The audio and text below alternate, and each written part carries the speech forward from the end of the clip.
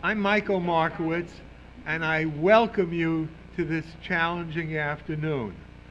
A century ago, Columbia University was riven by conflicts over free speech and the military draft. A group of distinguished faculty members left Morningside Heights to form a new school uh, to, which would encourage and challenge mature students and which would uh, go about developing an informed electorate. We continue to honor that commitment and try very hard to leave you still with questions. And we know that this, this session will certainly leave you with many questions. Today's lecture is part of a series made possible by a gift from the family of Estelle Tolkin, a student at the IR at the New School for many years. Let me introduce them. Marvin Tolkin, stand up, Marvin. Ca and Carol Tolkin. Thank you for your years of support. Some more information about lifelong learning. More than 50 years ago, the new school welcomed older students to its campus the model that they developed, that these students developed along with the university, has become a model for 400 other campus-based programs which honor us as their origins. Here at New School, students take great pride in developing their own curriculum. I encourage you very much to leave information about how we can invite you to our open houses to find out more about the IRP program and if you would like to be on our list of for public programs. I will now turn the microphone over to the co-chair of the Fridays at One Programming Committee, Ken Whitty. All yours. So welcome everybody. Um, just remind everyone to turn off their cell phones if, if they have them on. Can you hear me? Okay, that's better? Okay. Please turn off your cell phones, is what I said. So it's my pleasure to introduce today's speaker. He's Darrick Hamilton. He's Associate Professor of Economics and Urban Policy at the Milano School for International Affairs, Management, and Urban Policy, which is a graduate school of the New School. Professor Hamilton is a stratification economist whose work focuses on the causes, consequences, and remedies of racial and ethnic inequality. His topic today is rhetoric, reality, and remedies to address the racial wealth gap. Welcome, Darrick Hamilton.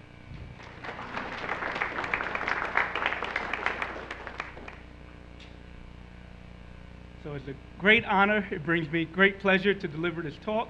I'm going to try to make it provocative, so I hope that the Q&A will be lively.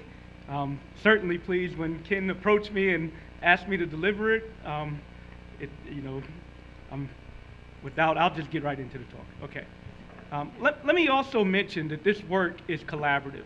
So I'm up here presenting it, but there is a team of scholars that have been working on this project for a long time in particular, I should point out my um, colleague and partner, William Darity at Duke University, um, and the Cook Center for Social Equity at, at Duke University.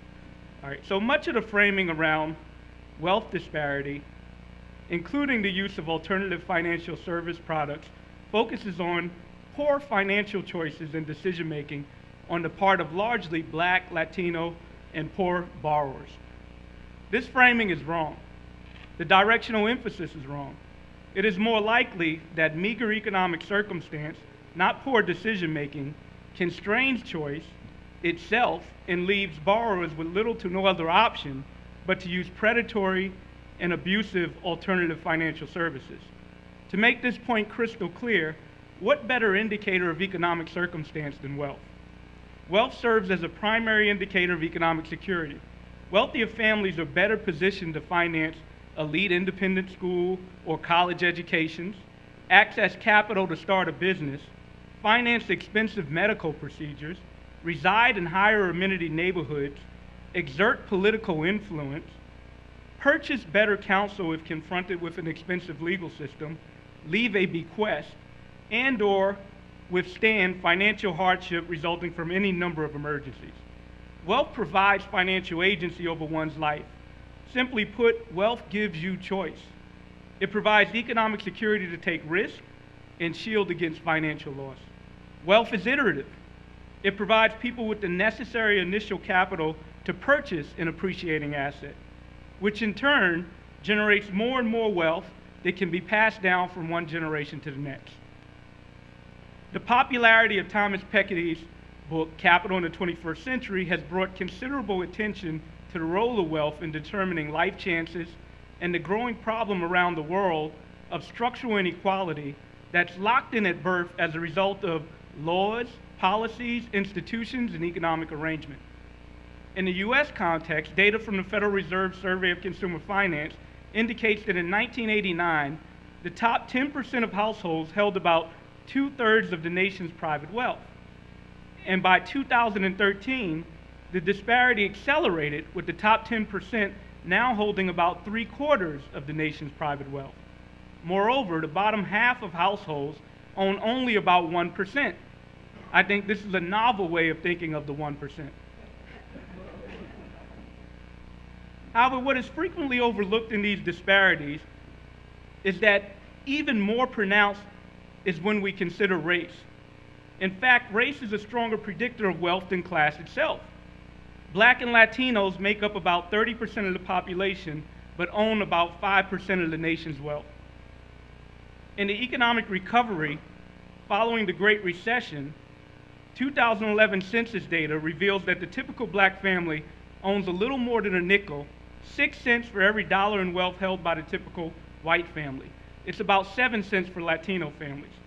The typical black family has a little over $7,000 in wealth, while the typical white family has close to about $112,000 in wealth. A new report from the Institute of Policy Studies estimates that the 100 richest American families, ri- richest Americans, which include two black billionaires, Oprah Winfrey and, and uh, Robert Smith, have more than the, have more wealth than all 42 million black Americans combined.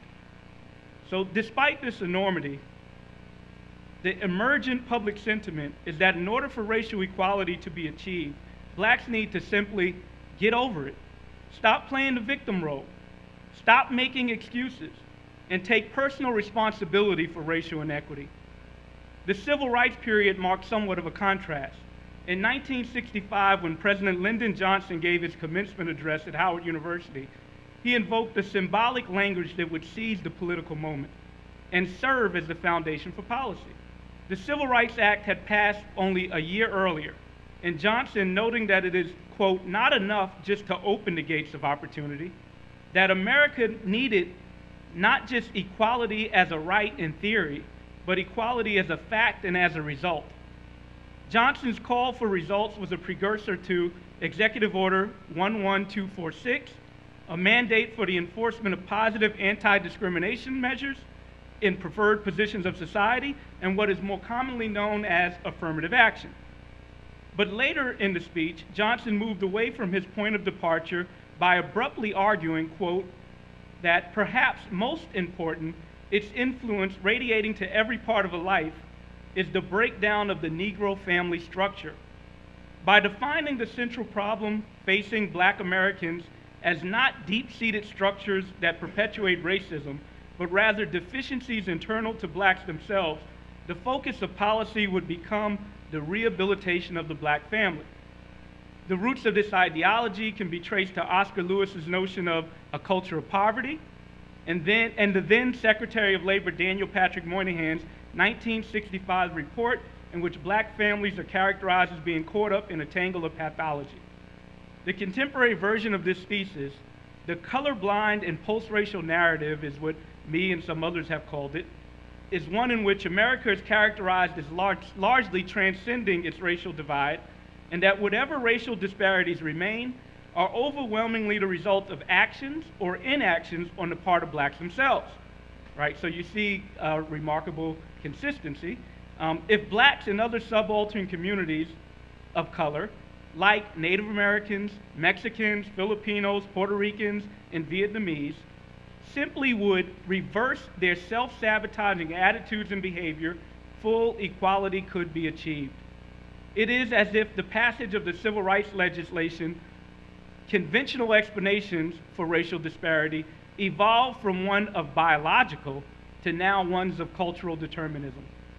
For instance, a report released earlier this year entitled Demographics of Wealth, published by the prestigious Federal Reserve Bank of St. Louis, begins by characterizing middle and older age educated whites and Asians as thrivers and young, less educated blacks and Latinos as strugglers.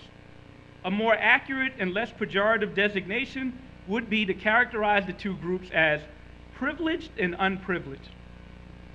Their language misleads one to interpret the racial wealth gap as a matter of choice and agency as opposed to inheritance and structure.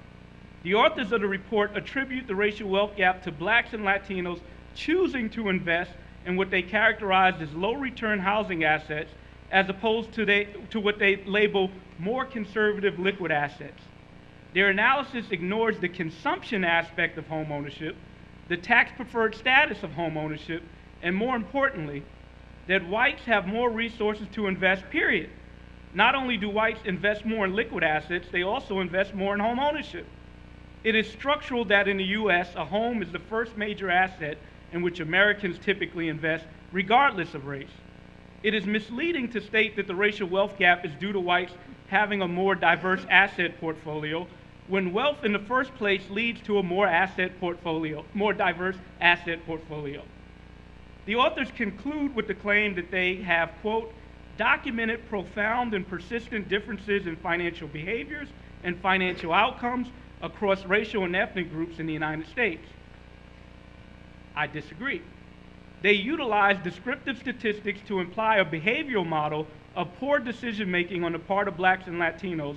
What, actu- what they actually generate is a deterministic model showing that greater financial resources on the part of whites in the first place is associated with both greater wealth and more diversified asset portfolios.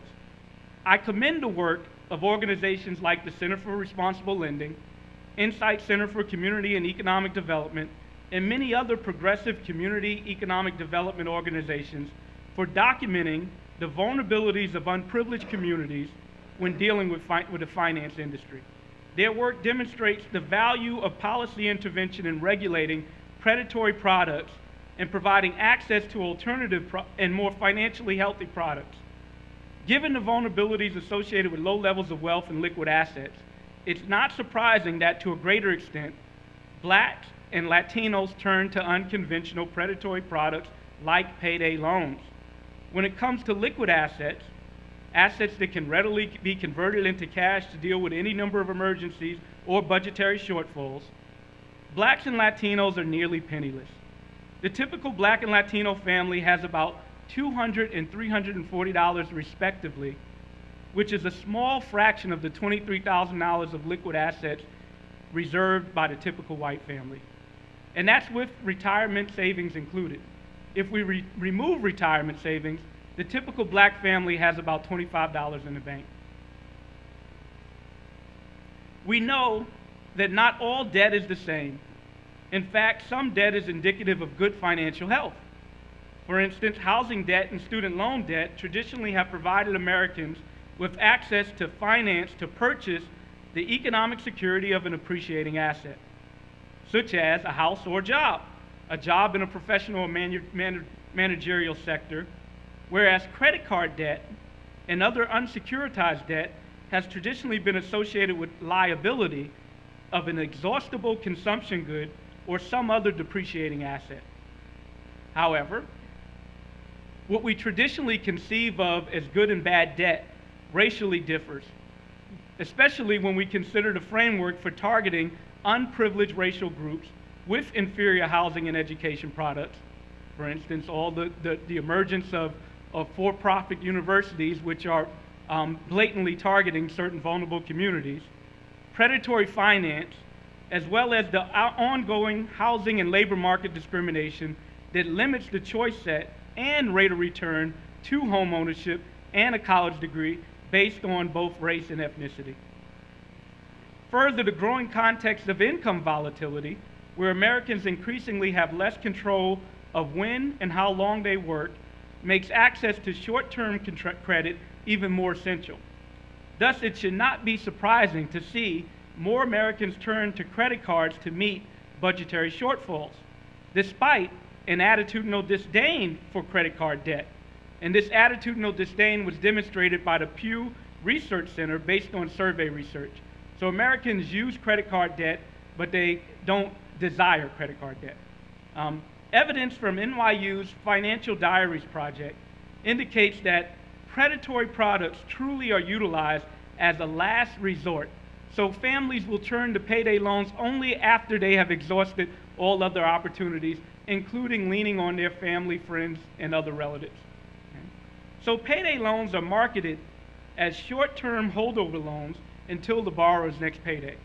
But the big problem with these exorbitantly high interest rate loans is that they often lead to a debt trap that absorb more and more of a borrower's income in both interest and fees until ultimately the borrower defaults on the original principal.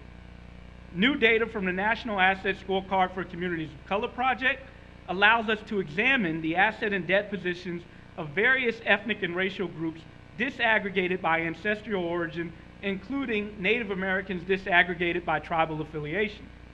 Led by William Darity and myself, with the generous support of the Ford Foundation and the guidance and vision of our program officers, including Kilolo Kijakazi, who's now at the Urban Institute, and our current program officers, Amy Brown and, Lee, and Leah Mayer, and with some supplemental support from the Federal Reserve Bank of Boston and the support from Ana Patricia Munoz, who was the project manager, we assembled a multidisciplinary and ethnically diverse team of scholars to design and implement, implement and analyze surveys in five targeted metropolitan areas.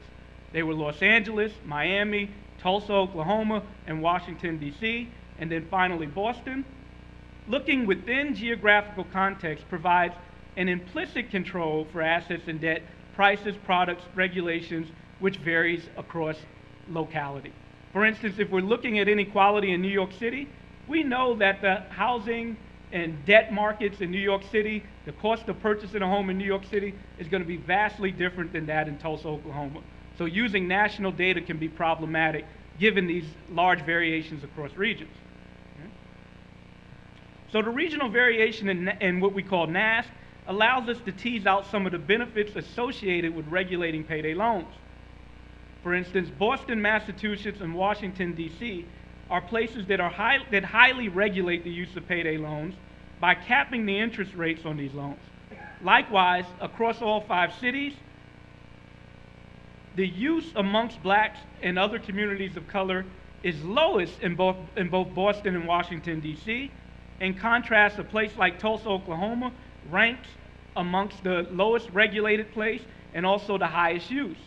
One third of our sample of, I always I mispronounce this, Muscogee Creek Indians report the use of a payday loan in the last five years. That's a third of the population of that group. It's also noteworthy that in Tulsa, even amongst the white group, 9% of them report the use of a payday loan in the last five years. Okay? So returning to framing, this post-racial rhetoric is not, a, is not partisan. It's certainly not the exclusive domain of white individuals as well. I'll give you an example.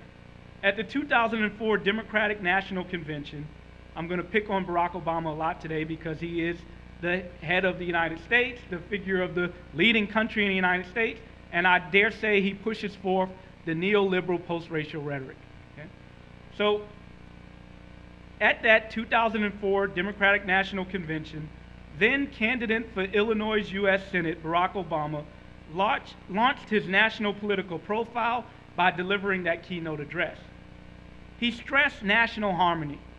He made the case that we're not red states or blue states, liberals or conservatives, but rather we are the United States. Within this theme of unity, he made reference to race once. He says, quote, Go into any inner city neighborhood, and folks will tell you that the government alone can't teach kids to learn. They know that parents have to teach, that children can't achieve unless we raise their expectations and turn off the television sets, and eradicate the slander that says a black youth with a book is acting white. They know these things. So President Obama used the occasion of his first national platform to single out and chastise black youths and their family as the cause for their own underachievement. The president's rhetoric on race has been remarkably consistent. The civil rights, basically, did three main points. And these three main points are the framework for the post racial discourse. One, the civil rights era has virtually ended structural barriers to black equality. The remaining barriers are due to the legacy of past discrimination and the residual effects of concentrated poverty. Number two, blacks need to cease making partic- particularistic claims on America and begin, in the president's own words, to bind our grievances to the larger aspirations of all Americans. Number three, blacks need to recognize their own complicity in the continuation of racial inequality and take personal responsibility to directly change their disparate position. So these themes were emphasized in his grand, more perfect union speech, right? Many credit this as one of the best race speeches in American history. I disagree. So here's, here's an excerpt from that speech. For the African American community, that path to a more perfect union means embracing the burdens of our past without becoming victims of the past. It means continuing to insist on a full measure of justice in every aspect of American life. But it also means binding our particular grievances for better health care, better schools, and better jobs to the larger aspirations of all Americans. The white woman struggling to break the glass ceiling, the white man who's been laid off, the immigrant trying to, trying to feed his family. And it means taking full responsibility for our own lives. So if we fast forward seven years, so if you think I'm picking on him in the past and saying he had to say these things to win, um, if we fast forward to the 2015 State of the Union address, his talking points remain remarkably the same. Only rather than referencing Re- Reverend Jeremiah Wright, he now references the Black Lives Matters social movement.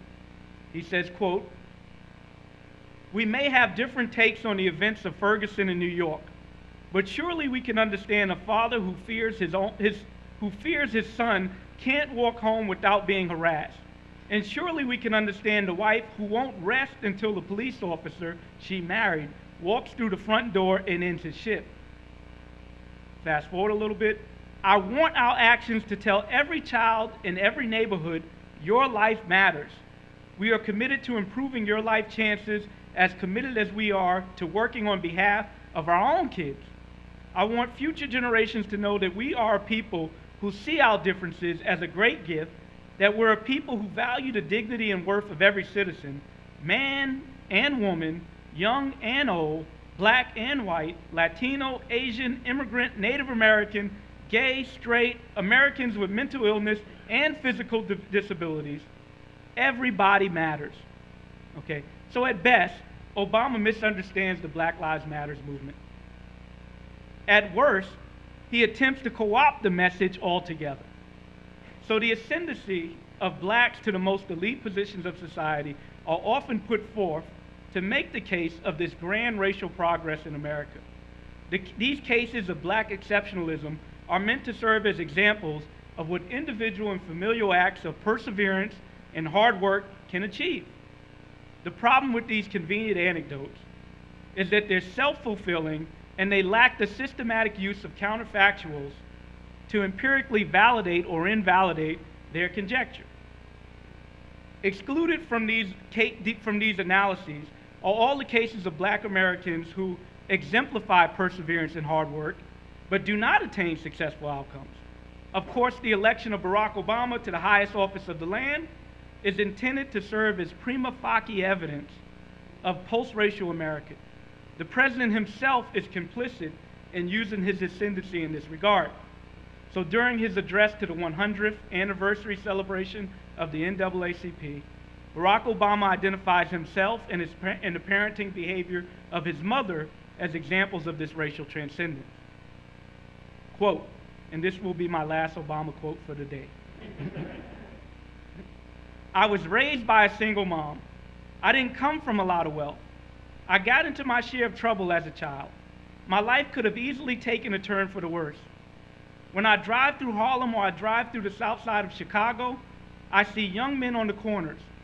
I say, There but for the grace of God go I. They're no less gifted than me.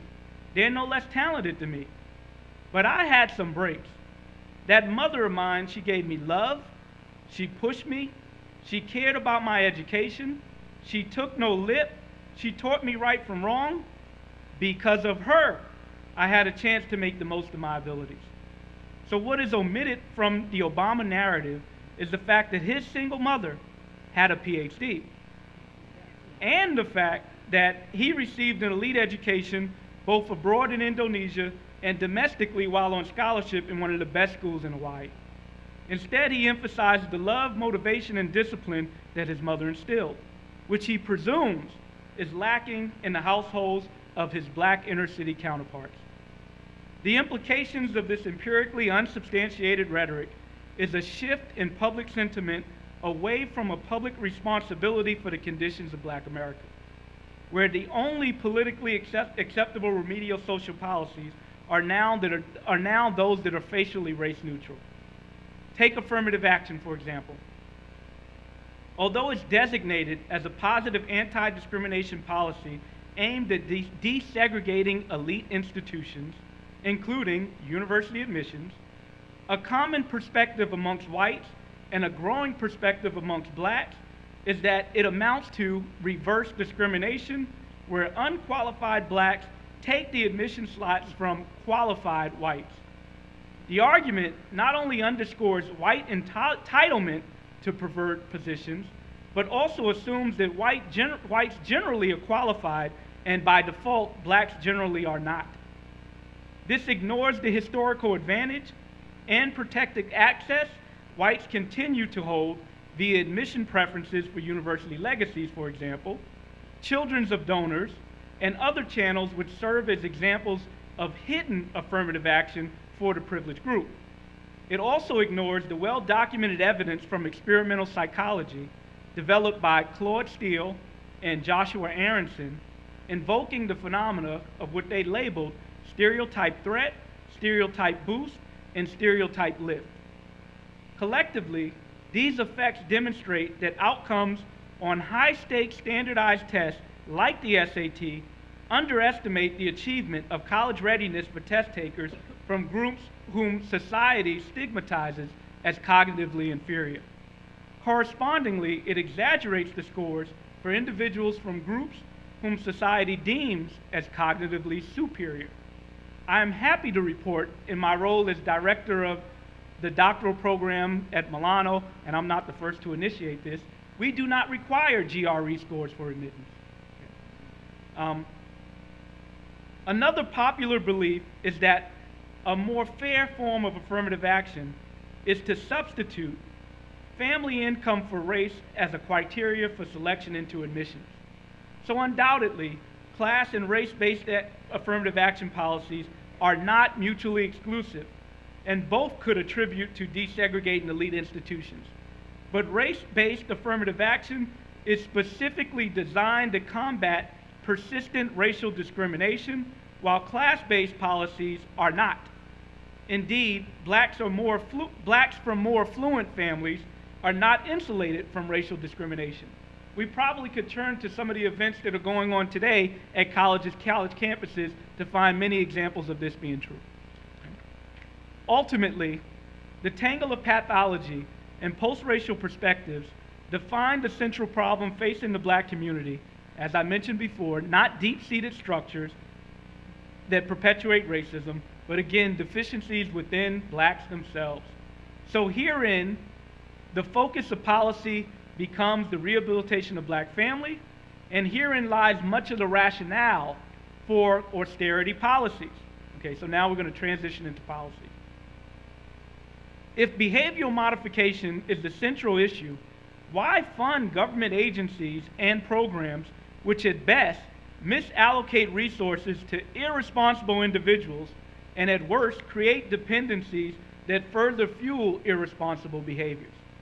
As a result, we end up with laissez-faire, austerity, and then when we do have intervention, we have intervention policies like the president's My Brother's Keepers initiative, which ignores the plight of black women altogether and attempts to incentivize so-called defective black males to be more employable rather than addressing the labor market conditions that they face.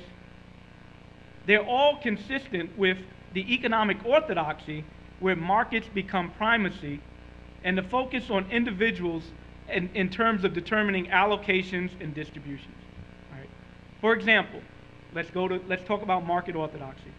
Without intervention of governments creating some unnatural market distortions, orthodox economics predicts that discrimination in labor, financial, and housing markets cannot explain persistent racial employment and wealth gaps. If selling agents restrict access and offer lower wages or charge higher prices to similarly qualified blacks for jobs, housing, or financial products, then the profit motive should lead other agents to offer access, higher wages, and lower prices to these discriminated blacks and eventually drive the higher cost competitors out of business. In other words, orthodox economics argues that competitive forces in the market should discipline bigots out of the market. Okay? Yet, over the past 40 years, regardless of education, the black unemployment rate has remained roughly twice as high as the white rate. My colleague Sandy calls this the index for racial discrimination. Um, there's been one year in 2000 in which black, the black unemployment rate has been below 8%, right? So last 40 years, the black rate has been persistently above 8%, one year when it's been below 8%. In contrast, there's been fewer than four, there's been four years in which the white rate has actually reached 8%. So if 8% is a demarcation of calamity, as Republican pundits declared during the 2012 election cycle, black Americans should be, would be characterized in a perpetual state of an employment crisis. So in spite of these enormous disparities in capital stock, as well as employment opportunities, discourse is focused primarily on education as the driver of upward mobility. The presumption is that if blacks were more responsible and made better financial decisions and were more focused on education, they could get a good job and pursue a pathway towards economic security. So education is far from a cure-all. A report by Janelle Jones and John Schmitt entitled A College Degree is No Guarantee indicates that the unemployment rate for black recent college graduates exceeds 12%, and it is as high as 10% for those blacks with so-called STEM majors, science, technology, engineering, and, and math. So even when they get the quote-unquote good major, they still face unemployment rates of 10%. If we look at underemployment, the rate is about 30%. So those are people with jobs that are not commensurate with the degree that they attained. Okay? A recent report that I co-authored with William Darity, Ann Price, Vishnu Sridharan, and Rebecca Tippett, in which we titled, I love the title, Umbrellas Don't Make It Rain, Why Studying Hard and Working Hard Isn't Enough for Black Americans. It critiques the preponderance of research and public policy that asserts that education and hard work are the drivers of upward mobility, especially as it relates to racial and ethnic disparity. The report highlights that black families whose head earned a college degree, their typical net worth is only about $23,000, while the typical white family with a college degree has close to eight times that amount with about $180,000 in, in net worth. That amounts to a difference of $160,000 between similarly educated households. Furthermore, black families whose head graduated from college have only about two-thirds the wealth, $10,000 less wealth, than comparable white families where the head dropped out of high school.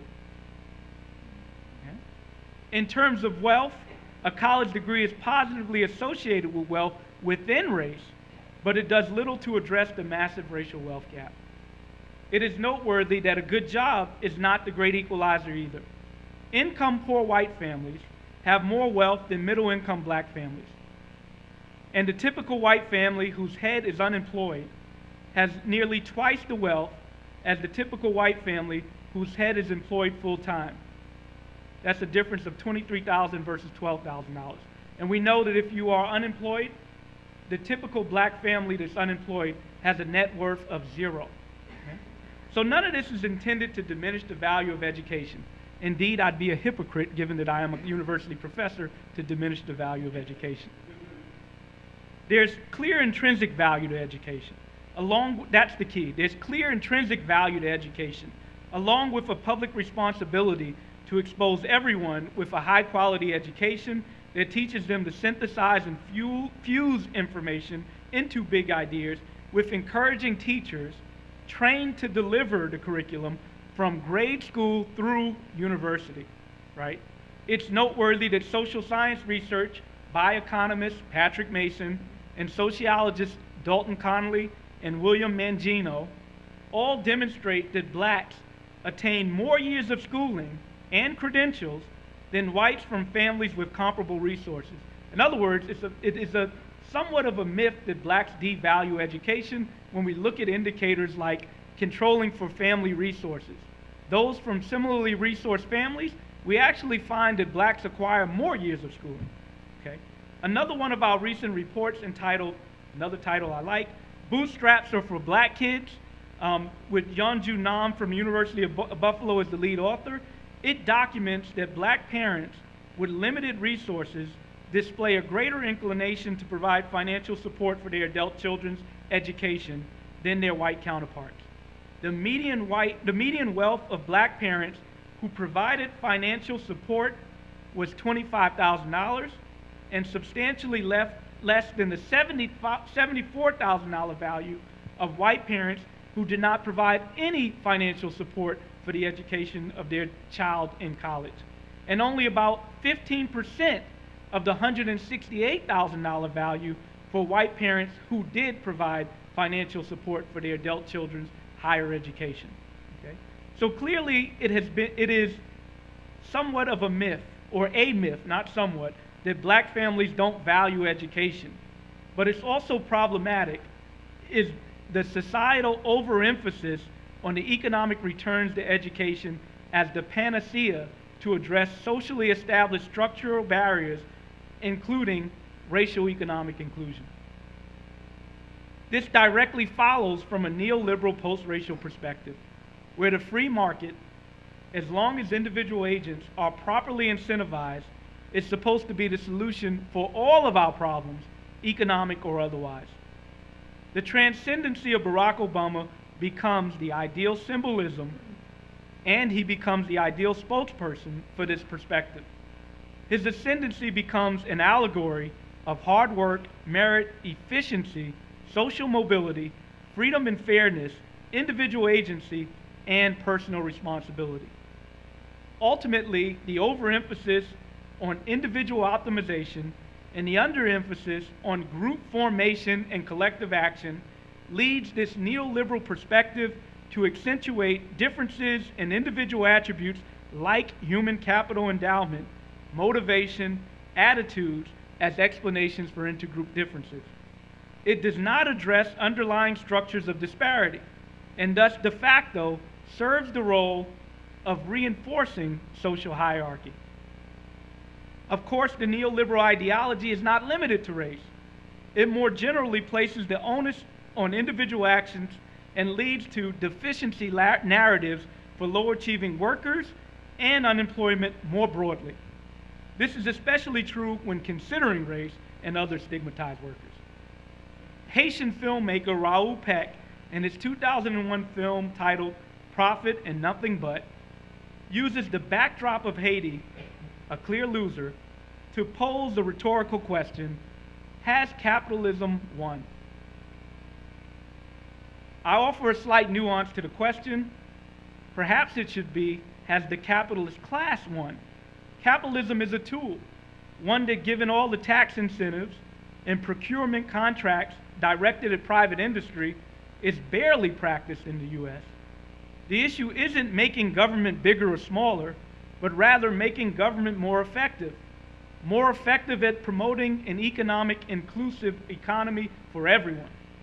Perhaps the greatest rhetorical victory of this paradigm is convincing the masses that implicit and unfettered markets is the American dream. The hope that even if your life is subpar, with patience, individual hard work, you can turn your proverbial rags into riches. What is not emphasized is the inherent competition between the capitalist class and workers.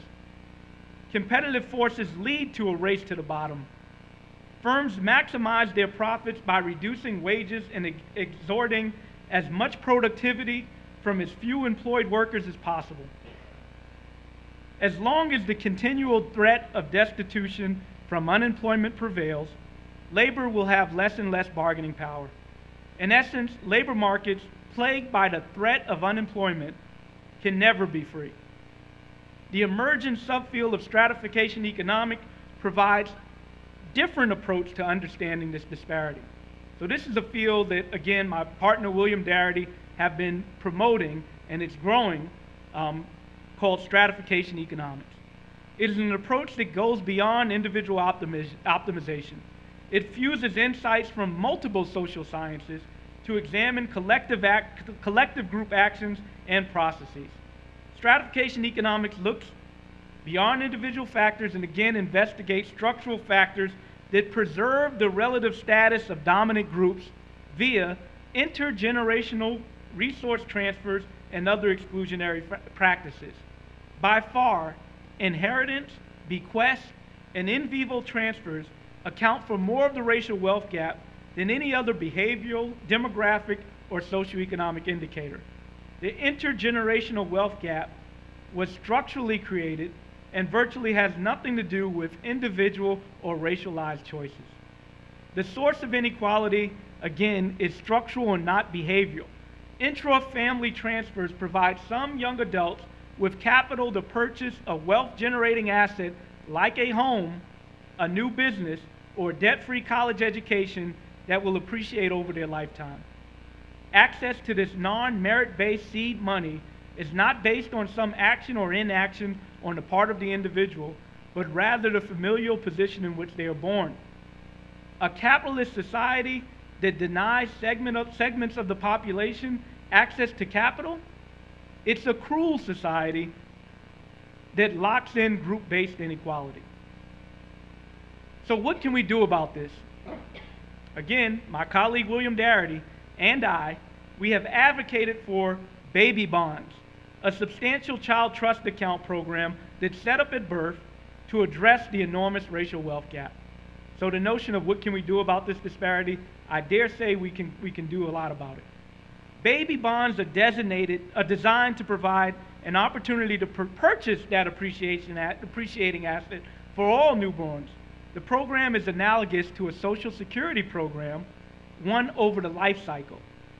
It would provide capital finance for young adults to begin a lifetime of building assets and economic security, independent of the financial positioning and decision making of family of the family in which they're born. So some people have accused this of being, quote, child savings accounts on steroids. I reject that designation because child savings accounts are designed with incentives to try to leverage parents to save more for their children as they grow as they grow and become adults. So I'm not opposed to those programs, but this is different. This is arguing that parents, children should have an independent opportunity for a life, a life chance of building their assets independent of their parents. So these accounts would be managed by the federal government. The program would be universal, but the amount of the account would be graduated on the basis of a child's parental wealth. We envision endowing, endowing American newborns with an average account of $20,000 that would gradationally rise upwards to $60,000 for babies born into the most wealth poor families. The accounts, again, would be federally managed and grow at a guaranteed annual interest rate of about 1.5 to 2%. They could be accessed when the child becomes an adult and used for some asset enhancing endeavor, such as purchasing a home, starting a business, or financing a debt-free college education. With approximately 4 million babies born each year, if the average endowment is set at $20,000, the program would crudely cost about 80 to 90 billion dollars a year. This would constitute only about two, only about, it would constitute about 2% of what the federal government is currently engaged in spending. Baby bonds could be fully funded by a more equitable distribution of what the, what the federal government is also already spending in terms of asset development. About $500 billion of the U.S. federal budget in the form of tax subsidies and savings are used to promote asset development policies with more than half the benefits going to the top 5% of earners and the bottom 60% of earners receiving about 5% of this allocation. The bulk of this allocation comes from items like the mortgage interest deduction, exclusion of investment income on, from taxation, and annu- uh, on things like life insurance and annuity context, and reduced rates of tax on dividends and long-term capital gains, and exclusion of capital gains tax at death. Really, a lot of it comes from the mortgage interest deduction. If the existing federal asset promotion budget were allocated in a more progressive manner, federal policies would go a long way towards eliminating racial disparity and building an inclusive economy for all Americans. So let me conclude.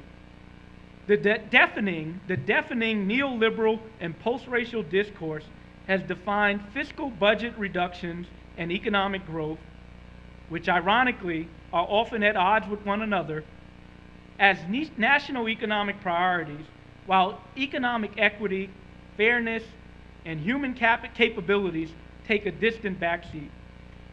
A policy like baby bonds would be a major step in drowning out that rhetoric and instead providing all Americans with the access of a tangible economic, sec- economic security of an appreciating asset, regardless of their race, ancestry, or the family position in which they're born. Thank you.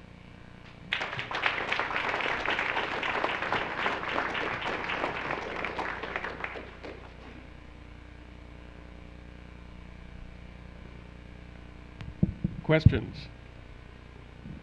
Um, yeah, uh, let, let's get a mic. I thank you for your speech. Um, I think that in the United States, institutional racism is the cause of what's going on, and also of the relationship of inequality to uh, the gross inequality. I just read that 20 people have more wealth than the than uh, 42% of the population, something like that. 20 people. So I think your I think your solutions don't go far enough. As far enough. I think if the assets is not going to what's going to do it. What's going to do it is a really real redistribution of wealth, and the only way to do that is to have a have a tax system where we tax these wealthy people, take their money and use it for social needs, and we end the military budget, $600 billion a year. So the fact of the matter is that this racism that exists in our society is institutional. It comes, it's the very nature, the foundation of this country, in my opinion back from slavery, and that the only solution is the, is the question of, of economic inequality and the use of the money for what we need housing, schools, etc. Can I make one more last point? Question is, okay, the, well, I think, uh, I think it's important to say that uh, what's going on in this country, but that's besides the point. Everybody else should have their say too. So I, my question then is, why do you think that assets is going to solve a problem of such enormous problem instead of redistribution of the wealth and government programs? So they're, they're not mutually exclusive, right? So uh, I don't disagree with anything you said. Um, I think there's a couple of things I would add and point out that it's important to understand the purpose of discrimination, right? We often think of discrimination as something that is based on bigotry, psychological, ignorant people. I say no. I'm an economist at heart, and I say that discrimination is often used to preserve class position, that it has an economic basis. So hence, if we're going to address it, we need to address it from a, a market-based perspective. So the other point of focusing on assets, I think that's key also. When, so you're right, there needs to be some element of redistribution, but I think that oftentimes our policy is focused on income, which becomes subsistence. And income is important, but if we want to be transformative and give people agency, then the focus needs to be on assets. Now, I will agree that there's a distinction between public and private assets. And I would say that a lot of what you've been talking about is public assets. And again, I'm not opposed to that as well. So, another form in which we could institute some of these policies. So, I talked about a baby bond to provide a debt free college education. We could likewise do something where we make education free at the point of delivery, in which case now it becomes a public asset. So, I'm happy with that as well. But the key is we need to focus on assets, whether it's public or private. But we need to give people the ability of something that will appreciate over their lifetime so that they can have economic security and choice.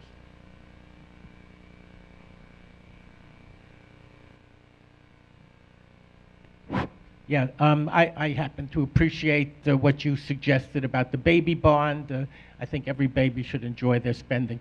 But uh, the additional thing, which I think you're leaving out, is the importance of once again introducing something like what Roosevelt had, which was a WPA, where people have uh, a chance for major jobs, probably in high tech, with training. Because what's necessary is nobody takes education seriously unless they think it's going to get them somewhere. And if they don't see that there are jobs available for them, I don't see that they're going to uh, use the money for education. So I'd like your response about the uh, possibility of jobs as a guarantee. So it does, baby bonds don't solve everything. Um, I think it solves a big dimension, which is wealth, or addresses a big dimension, which is wealth disparity, which very well might be the, the focus. But I'm going to give you all my quick 10 point plan to address racial inequality so I don't get accused of leaving stuff out. Reparations, that's what I'll lead with. Um, baby bonds, we talked about that. A federal job guarantee, and I can get into greater detail if, if Q&A focus primes me in that way. Federalized credit scores. There's no reason that something that bears so much in somebody's individual life chances in jobs, uh, access to finance, et cetera, should be in the hands of, of, of the private sector. That should be federalized, transparent, and we as voters should be able to, to dictate how that score is accumulated. Utilize post office for banking services. EB, for things like, you know, the EBT card serve as a model also of what we can do. So when poor people have limited access to banking, well, we have an infrastructure that we could utilize that can provide these alternative financial products. Um, the EEOC, the Equal Employment or Opportunity Com- Commission, should conduct employment audits. The HUD, Housing Authority, Housing Urban De- De- Development Agency, they used to employ audits where they'd send out testers, white actors and black actors, to try to determine if they could detect discrimination in housing, in housing markets. Why doesn't the EEOC use these techniques to look at employment discrimination? And when we find firms that receive federal contracts in, in a breach of discrimination, prosecute them. Okay? Seven, we need to provide federal subsidy to HBCUs to the tune of the present value of what was reached in funding other colleges and universities from the post World War II GI Bill. So HBCUs were largely left out of this finance. We're seeing HBCUs suffer today financially, and their need is still present. We can see that going on right now. And again, oh, sorry, historically black college and university. Okay, all right. I got uh, three more, and then I'm going to stop. Uh, get rid of tracking and offer universal, talented, and gifted education programs for all. So with desegregated schools, we still see largely segregated schools, but we also have a phenomena of segregation within school. Black kids have access to the low achieving curriculum, white kids have access to the high achieving curriculum. Get rid of tracking altogether. Everybody should get access to a talented and gifted type curriculum and have access to ideas that they can synthesize into um, big ideas. Um, number nine, single payer health insurance, Medicare for all. Finally, 10, stop mass incarceration of nonviolent offenders, hold police officers criminally and civil, civilly responsible for abusive police practice, and by all means, legalize marijuana already.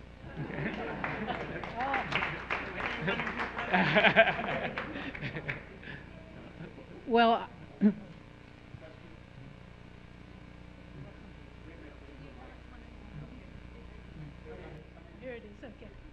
Um, about 15 years ago, one of my young black colleagues asked me, Fran, what do you think about reparations?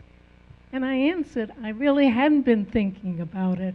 And even now, 15 years later, this is not something that's being discussed in the overall community. This is the first thing you mentioned, and I'd wa- like to ask you why it hasn't been and when it will be something that's discussed in the broader community.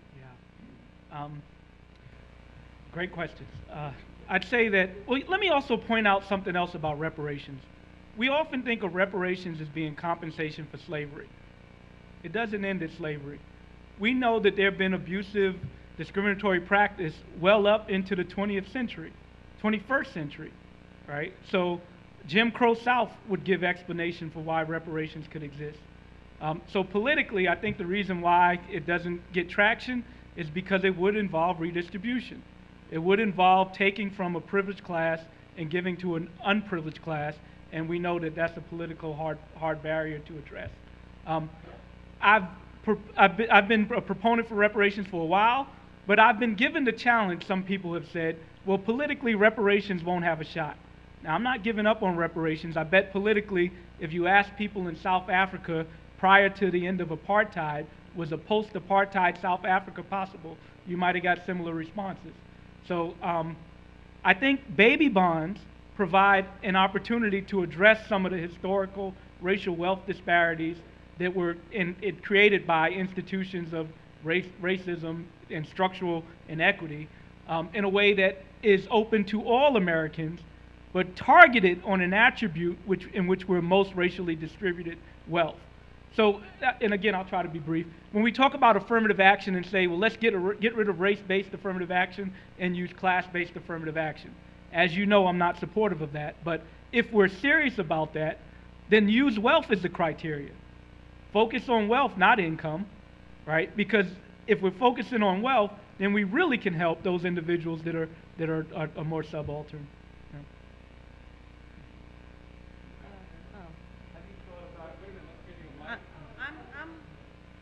I'm, I'm already have, okay.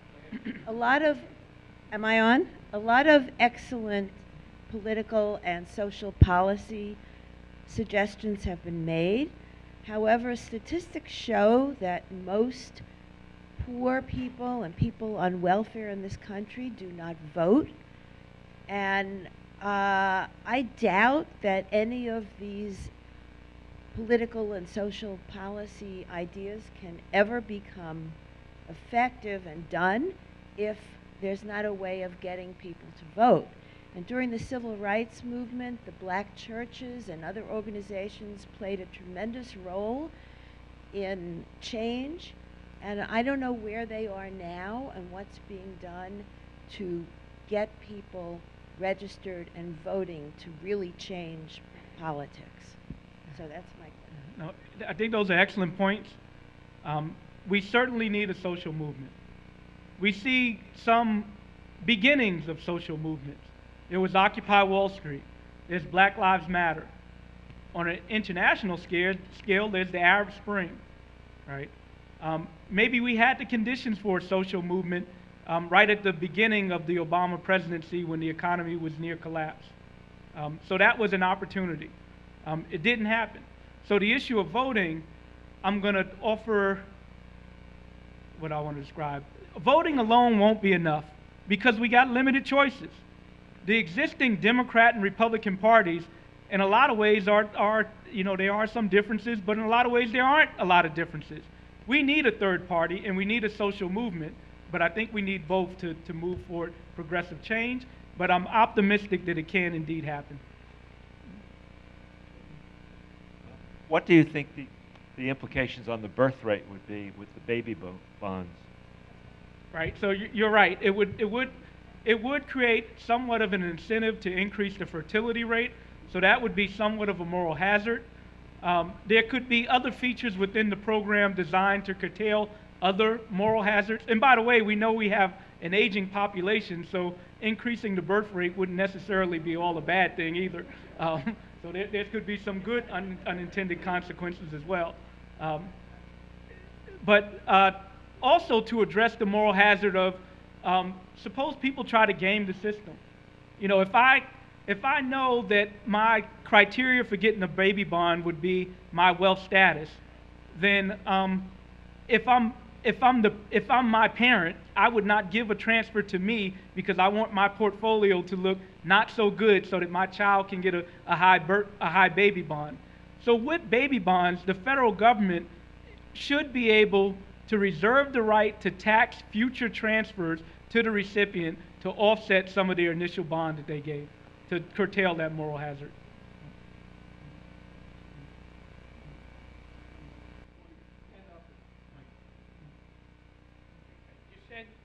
You said that the uh, problem is structural, not behavioral. I don't know if you're familiar with Geoffrey Canada. Uh, I don't know the program that well in Harlem, but it's behavioral. And the output, the end product, are many, many more kids going to colleges and graduating and finding uh, job positions. So how can, how can the behavioral component be inconsequential, which is the, uh, what the president is going for, whether it's with uh, more college funding or uh, all, kinds of aid that assists people who are in need as opposed to uh, wealth. You're, you're of baby bonds. I can see where the whole problem of immigration and, and the fights that we're going through about that, because you said it's for Americans, is what you said. So I don't know what where you, where you stand on that, but those are some things that uh, don't settle with me as far as your, your presentation. Okay, so basically two questions.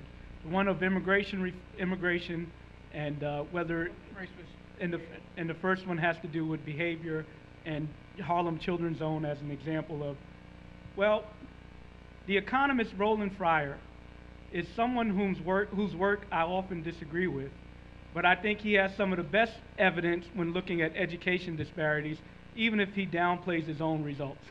Uh, so he did an evaluation of the Harlem Children's Zone experiment. And some of the ways in which you can evaluate the Harlem Children's Zone, um, I'm calling it an experiment, but the Harlem Children's Zone initiative is to, there's a randomness associated with, with it in, in the sense that there's some lottery to get in, right? We know that they have charter schools for elementary and, and high school students, um, and that there's some lottery to get into it. Not everybody gets in that wants to get in. We also, so let me give a context. I'm sorry, I'm rambling on here.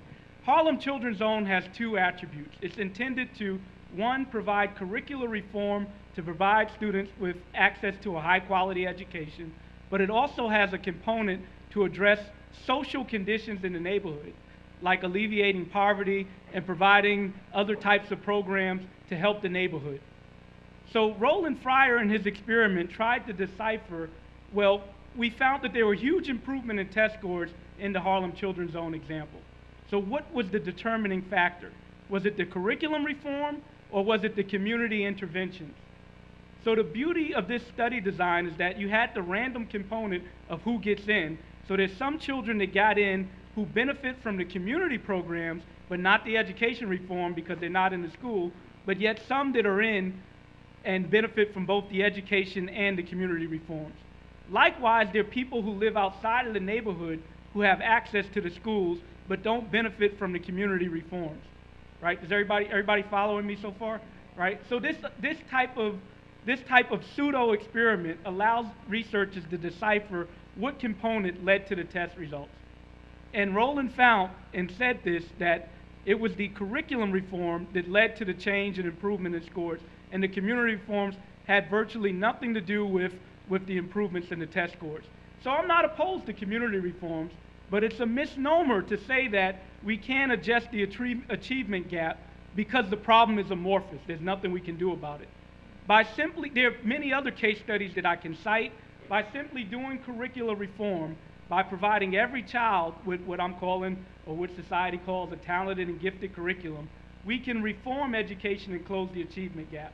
That doesn't solve all our problems, but it addresses that one. Oh, the immigration question, sorry. Uh, so the immigration question, baby bonds is a citizen right, so it would require a birth in the United States. I'm, uh, I support comprehensive immigration reform. So we need comprehensive, comprehensive immigration reform, and that the generation of immigrants who have children, well, their, their children would receive a baby bond. Um, but you're right, it won't address everything, and immigrants would not direct, not in the first generation benefit from baby bonds.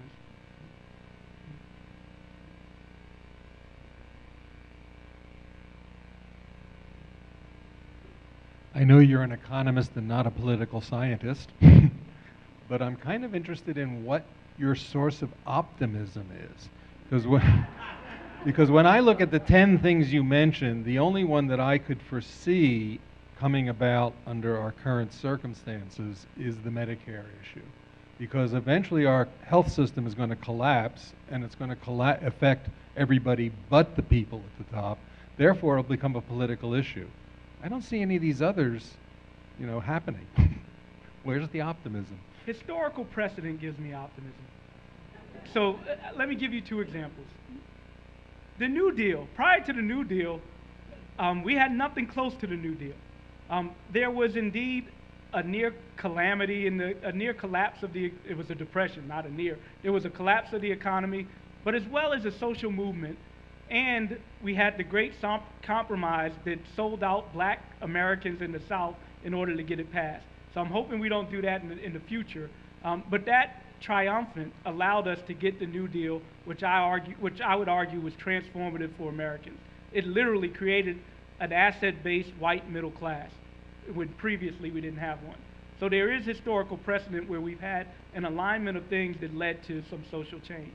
The other historical precedent is People thought Barry Goldwater was crazy. They thought he was a kook.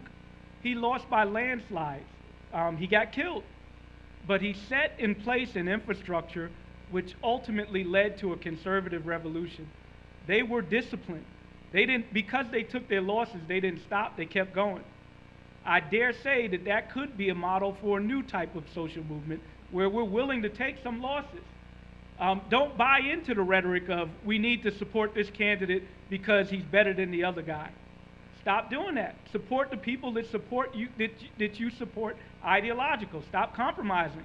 Um, and then eventually, um, I think that if enough people stop compromising, we will get um, what the masses would, would need to make for a more inclusive economy. But you're right, I'm not a political scientist, but that never stops me anyway. I'm an arrogant economist.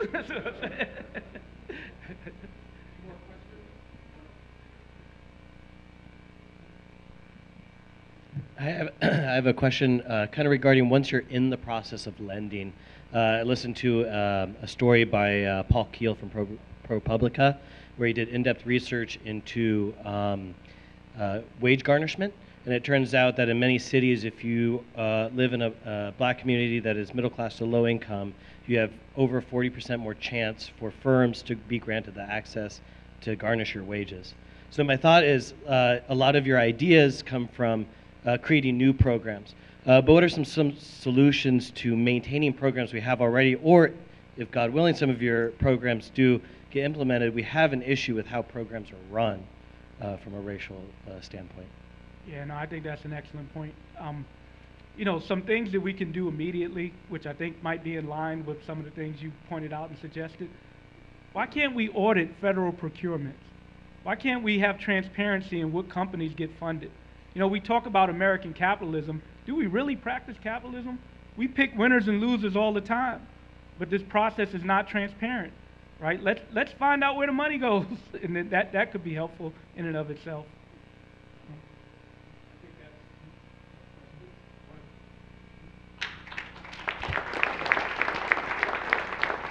we want to we want to thank Darrick, and there are refreshments after now that we're done. And thank you for coming. Bye.